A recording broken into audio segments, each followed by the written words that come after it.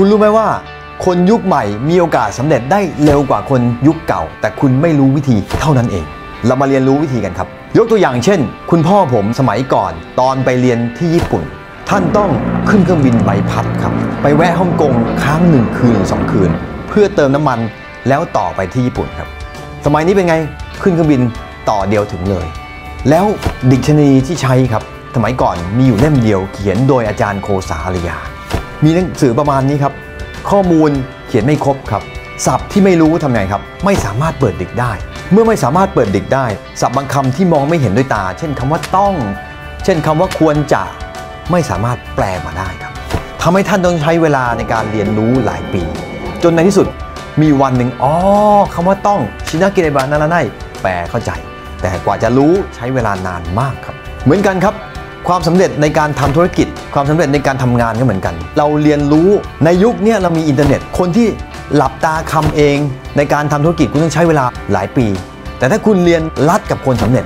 คุณจะไปได้เร็ว เพราะในยุคนี้คุณมีอินเทอร์เน็ตสามารถรู้จักผม สามารถเรียนรู้วิธีทางลัดได้ และผมเองก็ไปเรียนทางด้านอเมริกาอังกฤษยุโรปและผมโชคดีรู้ภาษาญี่ปุ่นอีกก็เลยสามารถเรียนรู้ทางลัดได้เร็วกว่าคนอื่นครับ โดยเฉพาะถ้าเรียนกับคนเก่งๆ ฟุตบอลไประดับโลกไม่ได้ เพราะโค้ชไม่ได้โค้ชระดับโลก แต่ถ้าคุณมีโค้ชระดับโลก เขาจะพาคุณไประดับโลกได้ ผมเองก็เหมือนกันก่อนหน้านี้หลับตาคำหลับตาคำแต่ผมไม่นั่งคิดต่อว่าเฮ้ยมันต้องมีทางลัดสิ วิธีที่จะประสบความสำเร็จเร็วๆก็คือการประหยัดเวลา เวลาสำคัญกว่าเงิน เพราะฉะนั้นผมใช้เงินซื้อเวลา ผมใช้เงินซื้อความรู้ เมื่อไปเรียนรู้กับคนเก่งๆผมก็จะประหยัดเวลา แล้วผมก็ยิ่งเรียนยิ่งเรียนยิ่งเรียน ผมยิ่งประหยัดเวลา นั่นคือการประหยัดเวลาสู่ความสำเร็จ คนธรรมดาเป็นไงครับ ต้องหลับตาคำหลับตาคำหลับตาคำบางคนอาจต้องใช้เวลาถึง 10 ปี 20 ปี บางคนอาจต้องใช้เวลาชั่วชีวิตอาจจะไม่รู้กันเลยก็ได้ แน่นอนครับมีอยู่ 2อย่างที่คนส่วนใหญ่ชอบพูดกันก็คือ ฉันเรียนมาเยอะแล้วทำไมไม่เก่งคำตอบคือ คุณยังเรียนไม่พอครับ เหมือนเปียโนครับ ถ้าคุณดีดเก่ง คุณฝึกดี คุณจะดีดได้ แต่ถ้าคุณฝึกไม่พอคุณจะดีดไม่ได้ครับ เหมือนกันครับในการทำธุรกิจ ถ้าคุณเรียนพอแล้ว คุณจะทำธุรกิจดีครับ แต่ถ้าคุณทำธุรกิจไม่ดีแสดงว่าคุณยังเรียนไม่พอครับ อันที่สองคือการไม่เชื่อ คนที่ไม่เชื่อเนี่ยอาจจะมี mindset ก็คือเกิดมาเคยโดนหลอกมาก่อน หรือคุณพ่อคุณแม่หรือคุณครูบอกว่าอย่าไปเชื่อคนง่ายๆนะแต่บอกไว้ก่อนว่าถ้าคุณไม่เชื่อใครเลย คุณจะไม่เรียนกับใครเลย เมื่อคุณไม่เรียนกับใครเลย คุณจะไม่มีโอกาสได้ประสบความสำเร็จ คนสำเร็จเขาพลาดเยอะกว่าคนธรรมดาครับ แน่นอนลงมือทำเยอะย่อมมีโอกาสได้พลาดเยอะกว่า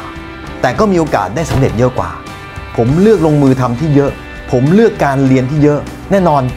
เรียนอาจจะไม่สำเร็จ แต่ผมก็เรียนต่อไปเรียนต่อไปเรียนต่อไปเรียนจนประสบความสำเร็จครับ นั่นคือข้อแนะนำของผม ถ้าคุณยังไม่สำเร็จและคุณต้องการความสำเร็จ คุณต้องเรียนต่อเนื่องไปเรื่อยๆครับแล้วคุณจะเจอขุมทรัพย์ที่คนยังไม่ไปขุดครับ และผมก็จะถ่ายทอดวิชาดีๆ สอนสิ่งดีๆ ให้กับเพื่อน เพื่อนๆสามารถติดตามได้ใน Facebook ไม่แน่นะครับ ในคลิปหน้าอาจจะเป็นกุญแจปลดล็อกสู่ความสำเร็จก็ได้ เพราะแต่ละคนจะมีกุญแจที่ปลดล็อกไม่เหมือนกันครับ ดูได้ใน Facebook นะครับ ถ้าคุณอยากเป็นคนธรรมดาก็ทำแบบคนธรรมดา แต่ถ้าคุณอยากเป็นคนพิเศษ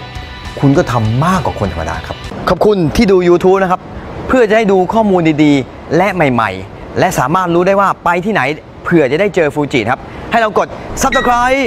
และกดกระดิ่ง ติ๊งๆๆให้ครบ 2 อย่างนะครับ อย่าลืมต้องครบ 2 อย่างนะครับ แล้วเจอกันนะครับอาริโต